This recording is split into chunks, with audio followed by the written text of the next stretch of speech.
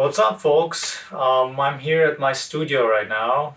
Just um, came down to play a little bit and uh, go through some music and think about stuff. Uh, it's been pretty uh, cool uh, few months actually, despite of all uh, the COVID situation. Uh, I've been home and taking things slowly, just uh, working on things that uh, have been lingering around for years and I'm finally getting to them and uh, finishing projects and you know um, diving into new things um, that I wasn't thinking I was going to do.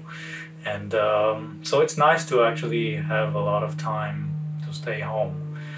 But um, this this is uh, well despite this I hope um, this situation will end soon because I also miss traveling and seeing uh, my friends um, around the world. So, um, anyways, I hope this uh, music is gonna make you happy for a second, um, or maybe not, but uh, I hope so. Um, and um, yeah, stay tuned for some more.